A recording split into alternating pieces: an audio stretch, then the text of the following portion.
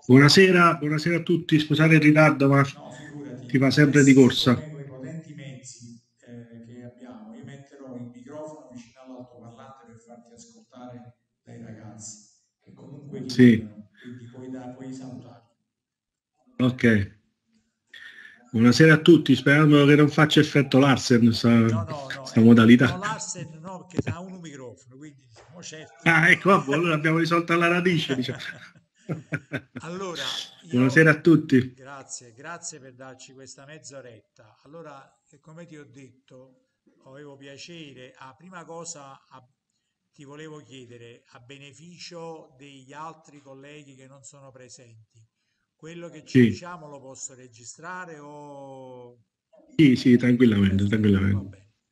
Allora, eh, come ti ho detto, è capitato più volte a lezione che i ragazzi mi hanno segnalato una loro difficoltà nel cercare di comprendere qual è il ruolo e quali sono i compiti, quali sono le competenze attese da un ingegnere biomedico in un servizio di ingegneria clinica interno alla- a un'azienda sanitaria, ma data la tua esperienza anche all'interno di un'azienda di global service, perché sì, te le sei fatte entrambe. sì, Allora, se ci le ho, dai, le ho viste tutte. ecco, le hai viste tutte. Allora, se in 5-10 minuti ci dici un po' tu Sì. il tuo punto di vista e poi lasciamo aperto lo spazio per le domande dei ragazzi. Sì, sì, che trovo molto utile in modo che io cerco anche di orientarmi verso, diciamo, allora io mi presento, eh, sono Salvatore Russo, eh, nonché, diciamo, ehm, la- laureando e laureato col professore Pepino, quindi diciamo ormai nel 2004. Eh, ho iniziato l'attività, mh, come diceva il professore, ehm, di fatto come un tecnico, diciamo, nel senso che eh, la mia prima esperienza è stata quella che il professore Pepino mi ha gentilmente, eh, con la sua eh, lungimiranza, consentito di vivere con un tirocinio eh, curriculare. All'epoca, diciamo, era un'innovazione eh, quando neanche prevista dell'ordinamento accademico. E di fatto, diciamo, ho iniziato con, eh, come dire, affiancando un tecnico per le verifiche elettriche e mi sono ritrovato dopo un mese a fare io le verifiche a posto suo, insomma, eh, diciamo, con, devo dire la verità, insomma, all'inizio non, non ho lesinato nessun tipo di, ehm, come dire, esperienza, per cui questa cosa mi è servita molto perché nonostante diciamo come dire si, si possa pensare a un'attività di basso profilo ma eh, ritengo che è da lì che bisogna partire. Questo ovviamente è una mia esperienza quindi diciamo eh, non, non è la Bibbia però diciamo vi racconto quello che, che è successo a me. Da lì poi mi sono occupato di manutenzione e dopo la laurea sono stato reclutato diciamo in una commessa nuova che partiva al- all'ospedale Monaldi eh, per conto sempre della società per cui avevo, eh, avevo prestato il tirocinio, per cui avevo fatto il tirocinio. Hanno, eh, ritennero che, eh, diciamo, che avevano bisogno di questa mia figura di coordinamento delle attività tecniche, per cui eh, ho vissuto diciamo, i primi anni di questa commessa che partiva nel lontano 2005 ehm, lì presso il Monaldi ehm, e di fatto eravamo una sorta di supporto esterno all'ingegneria clinica che insomma a quell'epoca ancora non esisteva presso la struttura del Monaldi. Dopodiché, ehm, un paio d'anni dopo, eh, sono stato eh, contattato da questa società che è la Hospital Consulting che aveva sta commessa al- presso il Cardarelli e avevano bisogno di questa figura di coordinamento sia delle risorse tecniche ma anche amministrative eh, perché l'appalto che, che è stato qui fino a mh, diciamo, pochi mesi fa eh, era un appalto un po' particolare perché riguardava un ambito consulenziale di fatto, con eh, diciamo, quindi supporto interno all'amministrazione con gestione delle risorse tecniche eh, per sopralluoghi, per ehm, diciamo, interventi di primo livello eh, e ehm, soprattutto prevalentemente supporto ai, eh, ai responsabili amministrativi, quindi eh, ai funzionari per eh, le procedure sia legate alla manutenzione che alle acquisizioni. Tutto questo fino al diciamo, circa il 2009, eh, 19, chiedo scusa, eh, quindi diciamo c- 13 anni circa di, di questo supporto consulenziale, per cui nel 2019 eh, sono stato reclutato attraverso una procedura di concorso per dirigente ingegnere biomedico e eh, il Cardarelli mi ha assunto nel, collocandomi diciamo, nel, nel, profilo di dirigente ingegnere biomedico. Eh, dal 2019 che diciamo, prevedeva la mia mh, assunzione presso il provveditorato, quindi mi sono occupato mh, di, eh, prevalentemente di procedure di acquisizioni di tecnologie biomediche, oltre a tutto quello che diciamo, passa attraverso il provveditorato, faccio un esempio dal Lavanolo, Etiquette Mensa e quant'altro, eh, fino a recentemente, fino al 2000, eh, ottobre 2022, che con la nuova direzione ha previsto diciamo, la costituzione finalmente del, dell'OS Ingegneria Clinica che eh, in questo momento nell'attuale atto aziendale è collocata all'interno dell'ufficio tecnico, quindi a ottobre sono stato trasferito all'ufficio tecnico e mi occupo, quindi mi hanno dato l'incarico di responsabile della struttura semplice di ingegneria clinica e eh, di fatto con questo trasferimento hanno previsto anche in deroga all'attuale eh, atto aziendale vigente la mh, possibilità, cioè che debba occuparmi anche proced- delle procedure di evidenza pubblica per le acquisizioni di apparecchiature. Quindi in buona sostanza quello che facevo prima al provveditorato me lo sono portato con me qui sull'ufficio tecnico, quindi l'ufficio tecnico adesso, nonostante diciamo, nell'attuale atto aziendale non preveda eh, l'acquisizione di beni, con questa deroga che c'è stata la nuova direzione, eh, con la mia venuta diciamo, si occupa anche di acquisizioni. E eh, in prospettiva, credo a breve, non so bene quando ancora, il nuovo atto aziendale proposto dalla nuova direzione strategica eh, ha previsto la costituzione di un'unità complessa di ingegneria clinica eh, che chiaramente eh, compendierà sia la parte diciamo, del vecchio ufficio tecnico, quindi la manutenzione di apparecchiature, con le acquisizioni di, eh, con le procedure di evidenza pubblica di acquisizione di apparecchiature. Eh, diciamo, questo è brevemente il mio excursus diciamo, professionale. Salvatore, allora io spiego un attimo ai ragazzi per eh, per sottolineare il passaggio non marginale del servizio ingegneria clinica da unità operativa semplice subordinata all'ufficio tecnico a unità operativa complessa, quindi piena dignità perché siamo al vertice della gerarchia, con autonomia operativa e decisionale sulle procedure che riguardano le apparecchiature biomedicali. Sì sì. Eh, in buona sostanza, eh, in questo assetto attuale, diciamo, dipendiamo, dipendo da un direttore di struttura che è il direttore dell'ufficio tecnico, eh, al quale io devo, diciamo, devo fare riferimento per appunto le proposte di atti piuttosto che la redazione diciamo, di proposte di delibere, eh, di atti di affidamento e quant'altro. E in questa nuova fattispecie che prevede no, atto aziendale, come diceva lei, siamo um, diciamo, autonomi, quindi una struttura complessa, eh, diciamo, autonoma rispetto all'ufficio tecnico, rispetto al provveditorato, che eh, da come è stata diciamo, impostata la, la, la, diciamo, il mansionario del, del, del, dell'atto aziendale si occuperà di tutto quello che ha a che fare con le tecnologie biomediche, quindi dal, dal collaudo fino all'acquisizione, la dismissione e eh, la gestione della manutenzione. Quindi diciamo, è una svolta abbastanza epocale per, per la struttura Cardarelli perché, come vi ho raccontato, diciamo che eh, storicamente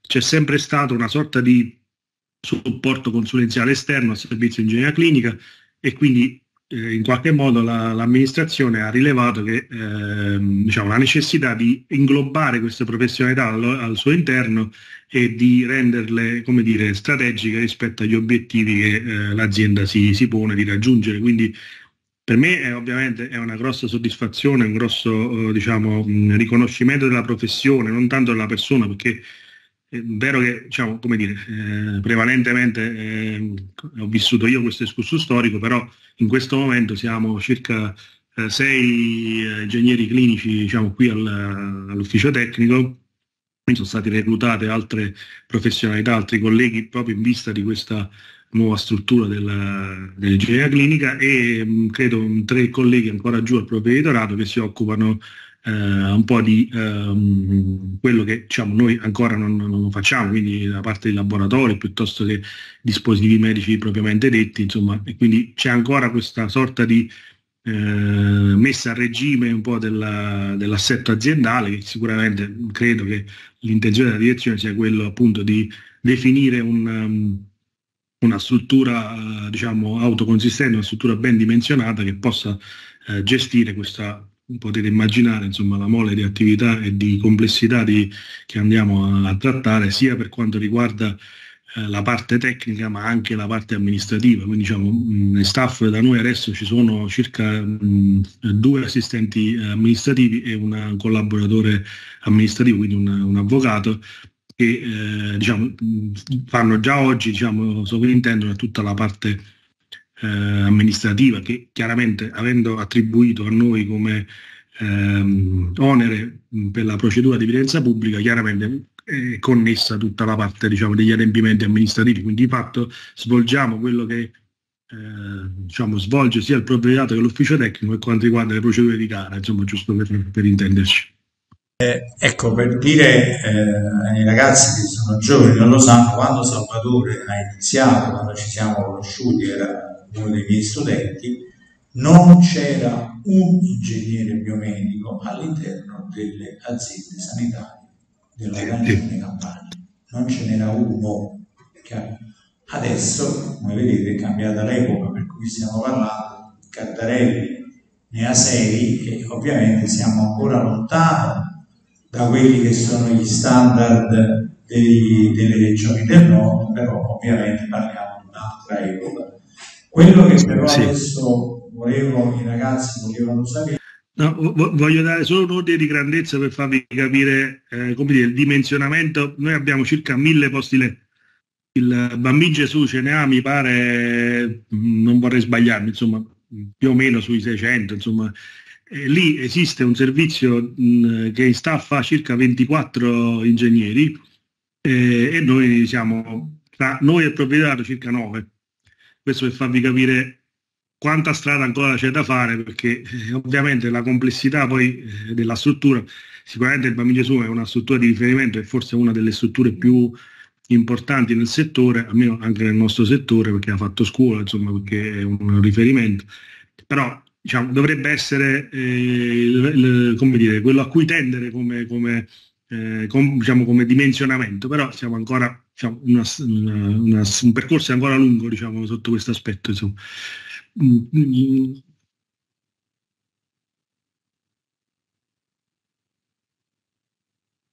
Sì.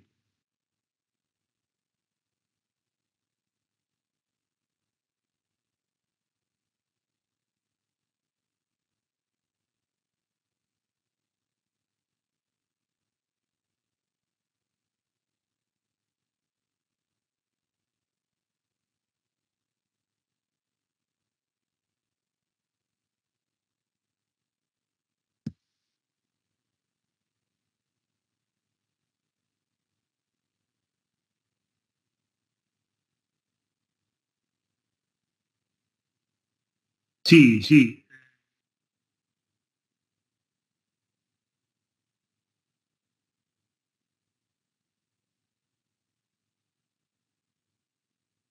Allora, ehm, il discorso diciamo è abbastanza lungo e complesso, però cerco di essere sintetico.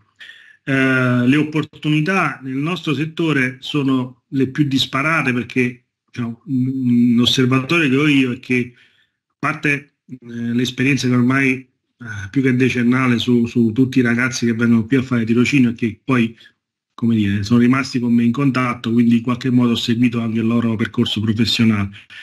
Eh, certo, eh, diciamo, non tutti poi hanno, eh, come dire, eh, avuto l'opportunità di svolgere pienamente quello per cui almeno la realtà che hanno vissuto nel tirocinio hanno, hanno svolto qui.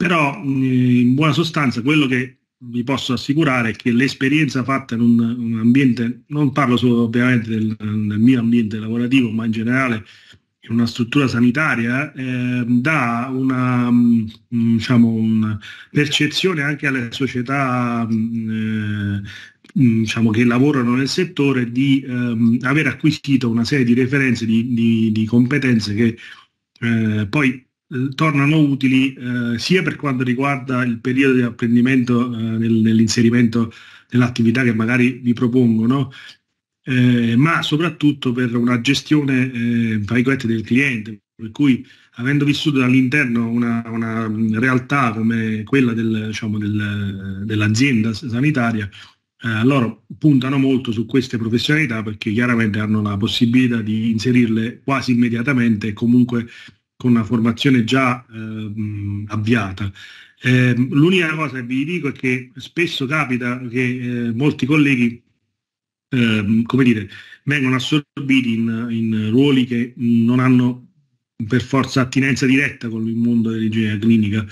Eh, prima di tutto bisogna precisare che il biomedico in quanto tale è un, una sorta di purpurri di varie diciamo, competenze, per cui eh, quello che io, diciamo, in cui io, l'ambito in cui io lavoro è quello dell'ingegneria clinica perché è una branca della biomedica dove si esercita diciamo, nelle strutture sanitarie la, diciamo, la, la professionalità di ingegnere biomedico. Quindi il motivo per cui ci chiamiamo clinici è perché di fatto abbiamo un contatto diretto con i clinici appunto e facciamo la interfaccia fra eh, come dire, la parte mh, aziendale eh, decisionale e quella sanitaria.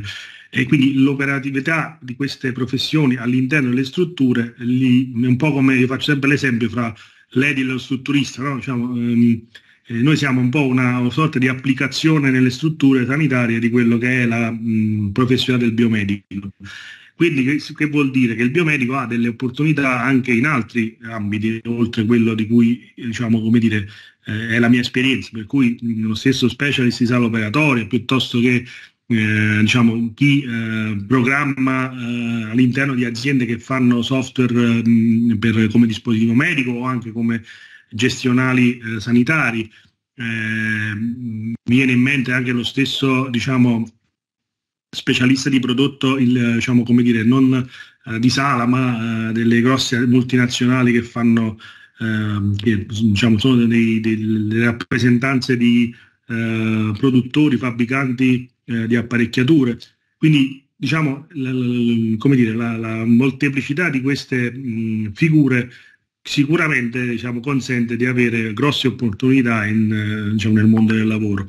Quindi l'unica cosa, come diceva giustamente il professore, quello che fa la differenza è eh, dire, l'ottica in cui uno si approccia al, al mondo del lavoro. Quindi se vive un'esperienza mh, forte, io sono uno dei fautori, non fosse altro perché eh, la mia storia, diciamo, la mia storia professionale viene da là, ma ho avuto sentore diciamo, concreto diciamo, nell'esperienza che ho fatto che faccio diciamo, ormai da più di dieci anni con i tirocinanti e l'esperienza fatta, vissuta in un mondo diretto, diciamo, nel, nel mondo lavorativo, ti dà eh, una referenza e una, una, diciamo, una, sicurezza diversa rispetto a, a, quella che può essere, per carità, diciamo, nel senso un'altra strada, quella del, diciamo, del, della, della semplice formazione accademica. Insomma, quello che vi manca come passaggio è cosa applicare di quello che avete eh, appreso nella, nella, nell'università nel mondo del lavoro. Questo è un qualcosa che purtroppo diciamo, è incomprimibile ed è, fa parte della cosiddetta gavetta che, dove, diciamo, che tutti do,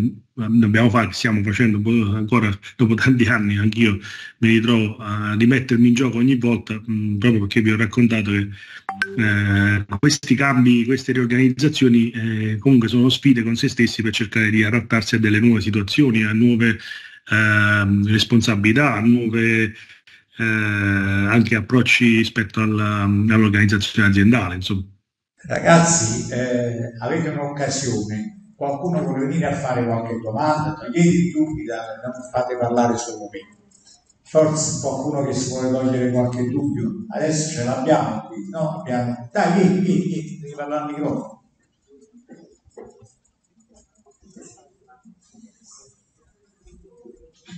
Bravo che hai messo la maglietta, mi sarei messo pure la maglietta, solo che decenza non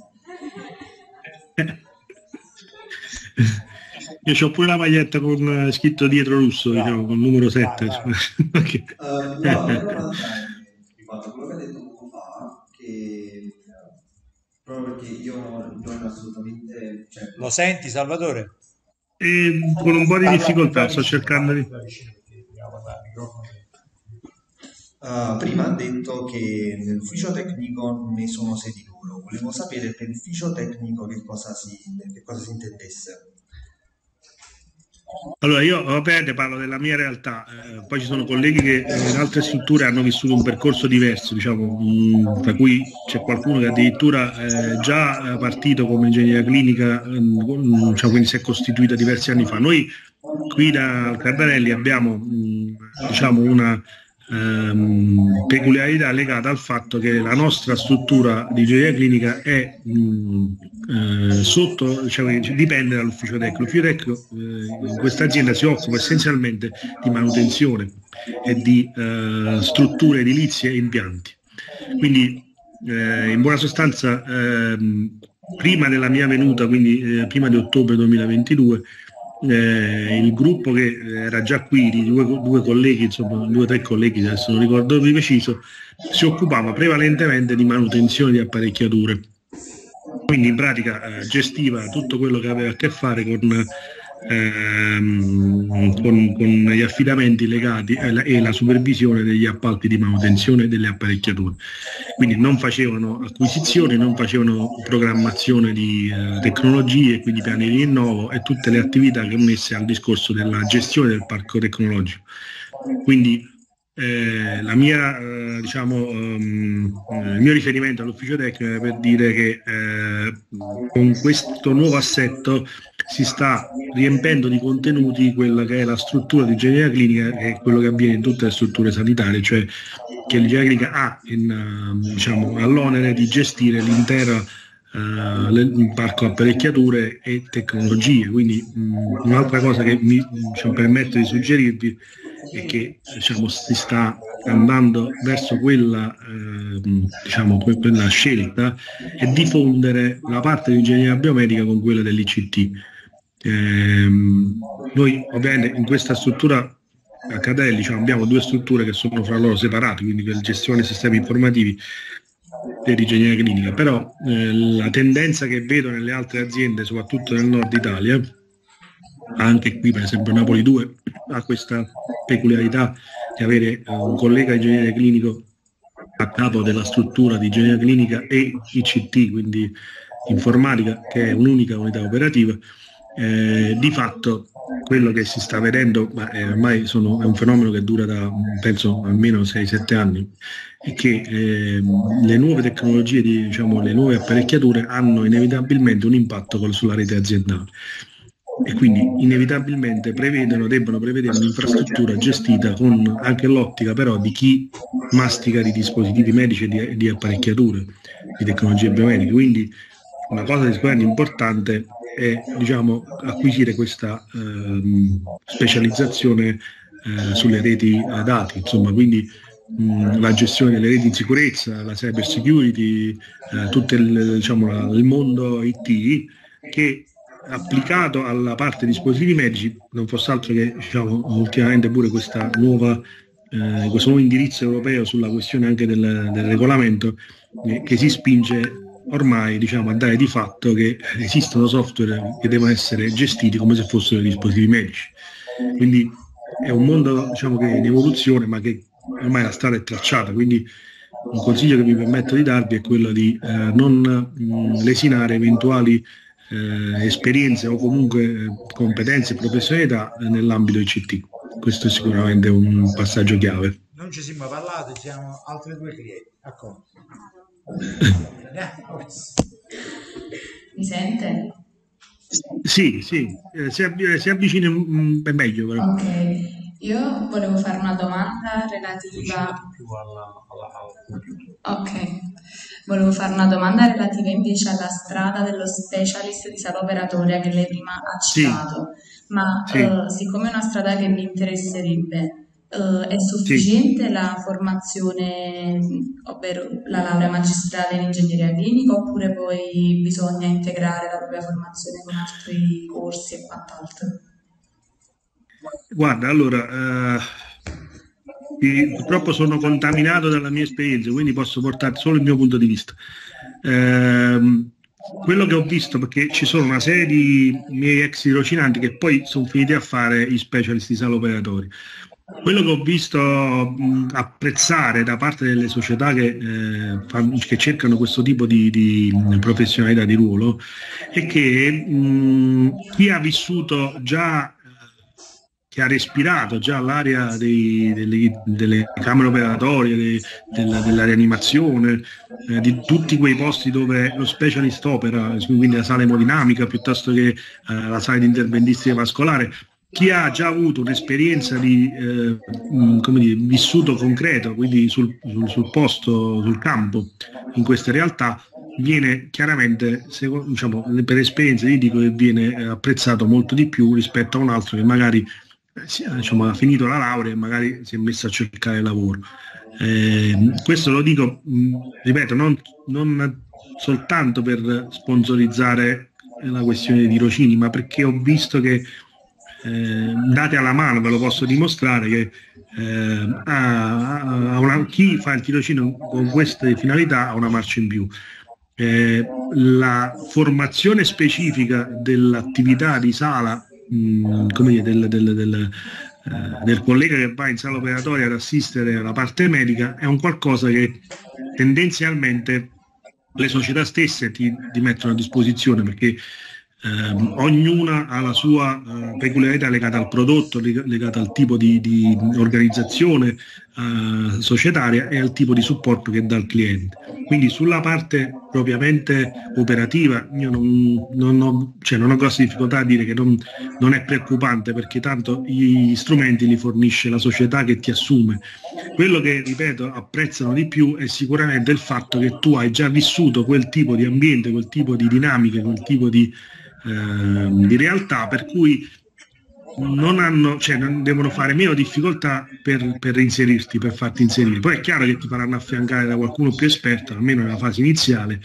Eh, ripeto, per esempio, c'è una mia tirocinante che è andata a lavorare per, per, una società che si chiama Alcon, che fa eh, impianti di, di, di cornea in sala operatoria, cioè, quindi poco, aveva fatto la tesi su, sul, sulla TAC di ultima generazione, questo per dire a volte i percorsi sono i più strambi, oppure un'altra tirocinante che aveva fatto la tesi su un iniettore di ultima generazione, alla fine è stata assunta da un competitor diciamo, de, diciamo de, di, questo, di, questa società che fa iniettori su cui, su cui aveva fatto la tesi.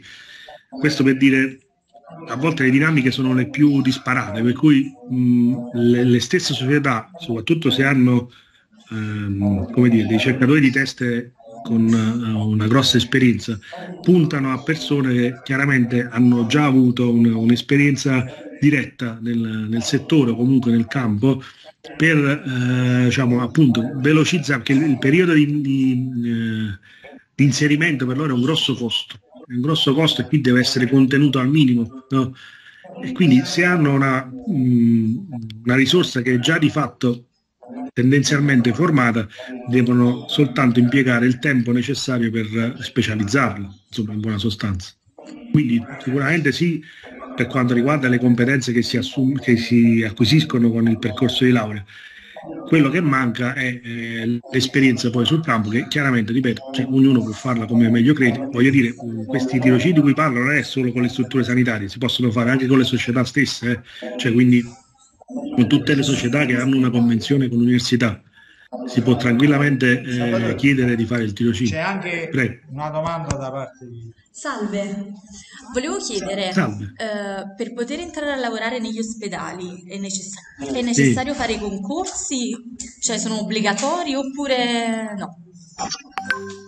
Ecco, allora, ehm, per essere assunti dalle strutture sanitarie assolutamente sì, bisogna fare i concorsi.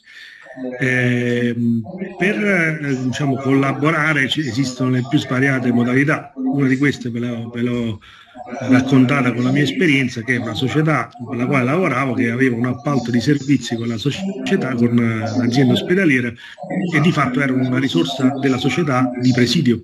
Quindi ero qui eh, diciamo come se fossi un dipendente, però non lo ero perché di fatto ero dipendente della società eh, di consulenza.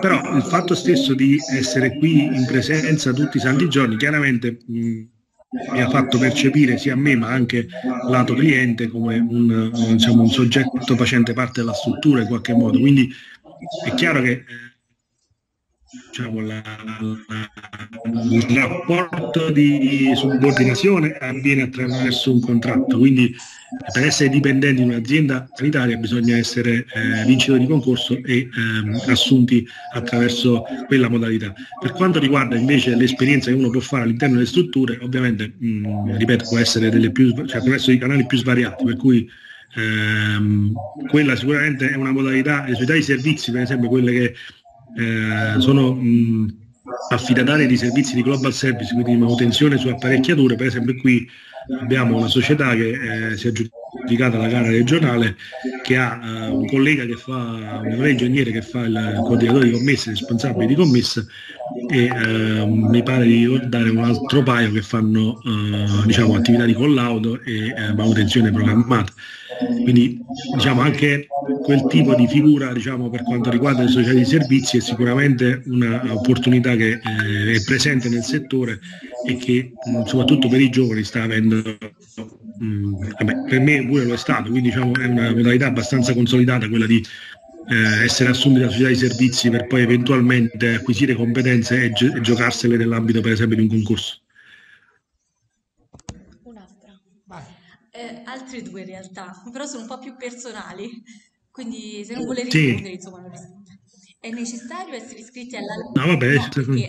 tanto siamo anche registrati, quindi devo, devo stare attento a quello um, dato che mi piacerebbe fare il lavoro che fa lei, um, lei eh. è iscritto all'albo degli ingegneri clinici? C'è l'obbligo di iscriversi. Ecco. Eh. Allora, questa è una tematica abbastanza spinosa, diciamo. Eh, allora, eh, all'interno dell'ordine dei ingegneri non c'è un albo specifico, o meglio, si sta provando ormai da qualche anno eh, il CNI, quindi il Comitato Nazionale Ingegneri, che è l'organo che gestisce a livello nazionale tutti gli ordini provinciali, sta provando a introdurre questa sorta di eh, elenco di, diciamo, di, di specialità. No? Quindi in qualche modo sta, sta provando a qualificare la nostra figura professionale. Come del resto avviene in tutte le cose in Italia, diciamo, la finale, diciamo, l'intenzione è buona, lo strumento è completamente sballato. Faccio un esempio, questo elenco eh, diciamo che è stato costituito presso il CNI eh, prevede paradossalmente che eh, ci sia un'iscrizione, quindi una certificazione automatica per chi ha la laurea specialistica o magistrale in ingegneria clinica biomedica, insomma nello specifico. Tutti i, vecchi colleghi come me, diciamo che vengono dal vecchio ordinamento, nonostante abbiano decine e decine di anni di esperienza, devono sottostare a una serie di diciamo, di verifiche diciamo, dei requisiti che diciamo, niente, nessun problema crea, se non il fatto che quando vado a leggere poi quali sono questi requisiti da, da, mm, diciamo, da dimostrare, ci sono delle, diciamo, delle, attività più svariate, quindi c'è direzione lavori, progettazione, ehm, in mente, comunque lo vedete sul sito del CNI dove c'è Certinge si chiama questa certificazione che ha introdotto eh, il Comitato Nazionale Ingegneri. La cosa, dicevo, paradossale, quindi il commento che facevo sullo strumento sballato è che a questo punto sfido, e questo mi dico anche al professor Pepino, secondo lei è possibile che un neurolaureato abbia esperienza in direzione lavori, in progettazione, in uh, uh, gestione di appalti pubblici, cioè, il paradosso è proprio questo, che si dà diciamo, un'automatica certificazione al neolaureato e si chiede invece a chi ha l'esperienza del settore di dimostrare di avere esperienza. Questo meccanismo che eh, diciamo, è solo probabilmente legato a, um, dire, alla carta, diciamo, ma non alla vera eh, al vero spessore professionale, diciamo, forse è da correggere questo perché la finalità, ripeto, è, è, è auspicabile, cioè quella di specializzare le nostre figure professionali. Noi abbiamo per esempio un'associazione della quale faccio parte che eh, ingloba diciamo, tra gli iscritti gli ingegneri clinici, no? Eh, però è cambiato status da poco, diciamo, è diventata un'associazione eh, scientifica, però di fatto non è l'ordine eh, professionale che ha uno status, è un ente pubblico completamente diverso dal, dall'associazionismo, insomma, per intenderci. Quindi la cosa che forse andrebbe fatta tutti insieme è cercare di portare all'attenzione del CNI che la nostra professione eh, come dire, riveste una qualifica ben specifica che non può essere associata diciamo, a tutta quella che è, sono gli ambiti eh, delle altre ingegnerie, insomma, per intenderci. Ok, l'ultima, questa è ancora più personale. Sì. È necessario, cioè, eh, per uh, entrare a fare questi lavori, eh, è necessario sì. avere una votazione di laurea magistrale alta, cioè un voto di laurea molto alto oppure no? Perché insomma una volta mi dissero se prendi un voto basso non lavori.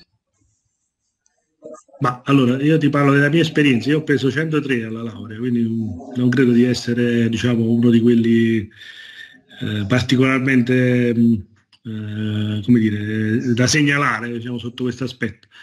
Però ti assicuro che diciamo, dire, il lavoro di tesi, e che il professore diciamo, confermerà, è stato per me un, un, lavoro molto pesante da un punto di vista eh, come dire, proprio di impegno che ci ho messo. E l'ho vissuto, giusto per fare un esempio pratico, visto che me lo chiedi, il mio lavoro di tesi era sulla ventilazione meccanica artificiale, l'ho vissuto nella rianimazione del Monalto, cioè quello che era il mio studio sulle macchine eh, che gestivano, che gestiscono la respirazione artificiale, poi l'ho vissuta vedendo le macchine in funzione.